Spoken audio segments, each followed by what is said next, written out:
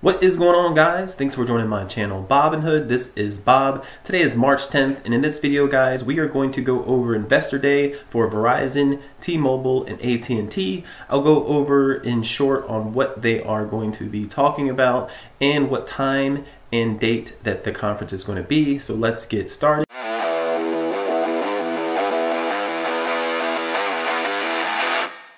Let's hop right into it, guys. So Verizon is the first one to do the conference call. It is on Wednesday, that is today at 6 p.m.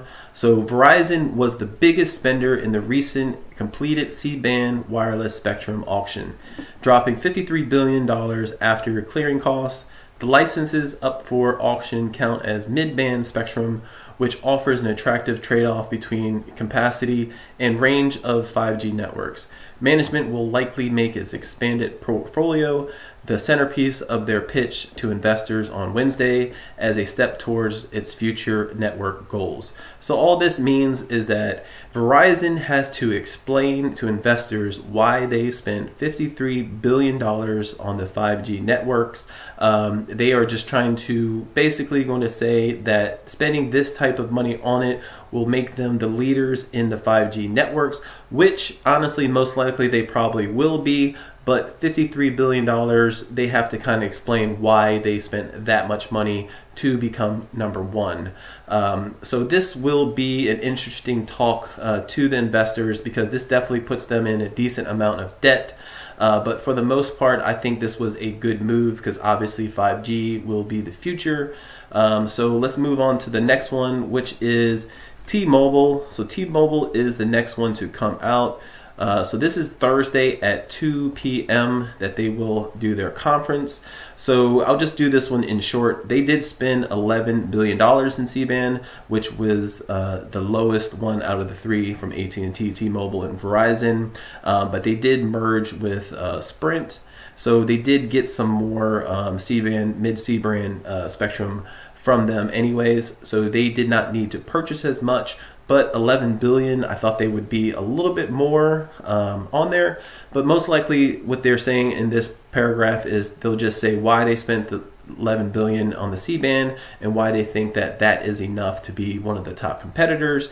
And uh, most likely they will be talking about the actual merger um, and what kind of expenditures that they have with it because they have really not said anything after they merged on how much money they've been making, what's been splitting, anything like that. So I'm pretty sure they will go over um, a little more details of the T-Mobile Sprint uh, combination. So AT&T is going to be last on Friday at 10 a.m. So in short, that they will need to explain a little bit more detail of their $8 billion transaction to get rid of partially of DirecTV. Um, they also did raise the DirecTV um, prices a little bit by $10, which was a little strange in my eyes, even though they're saying that it is still competitive uh, with other networks. Um, they also are going to have to explain the most important, I would say, to investors, and also important to me. I am heavily invested in AT&T. Would be the dividends. So they, everyone is expecting AT&T to announce, maybe not here, but just by the end of the year, to announce a dividend increase. It may only be like a penny or two pennies, but any type of increase is always going to be good for the investors to hear.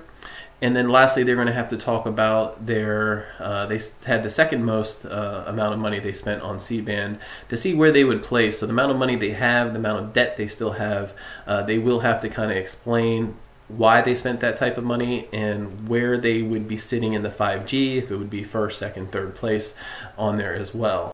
Let's check out AT&T real quick because I am very heavily invested in AT&T. They have been doing pretty well the last week and a half. Uh, you see today they are up 1.37%. For the week they're up 4.44%. For the month they're up 5.48%. For being up this much is not real common for AT&T. They usually trade pretty much sideways.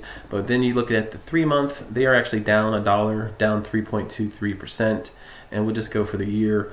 Uh, the year they're down 15%. So if you can see, they're pretty much sideways. They did hit a little bit of a peak at $32 uh, here in December. But I would say whatever news comes out, it's not really going to be any type of surprise unless they do announce any type of dividend raise. Um, but I suspect that AT&T will stick around 29.50 to 30.50 uh, the next week or so.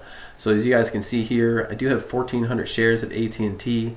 I did increase my position on AT&T about a week and a half ago, and it has paid off pretty well. I was sitting at 1,000, then 1,200, now I'm at 1,400. Average cost of 28.68, which I think is a pretty decent uh, average cost. I'm up about $1,900 um, for AT&T. I did get a very big dividend, and I have been doing some option trades as well. So I've been pretty good with AT&T. So that's going to be all for today, guys. Definitely hit the like, comment below. Don't forget to subscribe if you guys like what you see and hear, and let me know what you guys think about uh, each one. If you think it will go up and down, if you have any stock in this. Thank you guys so much. You guys have a good day.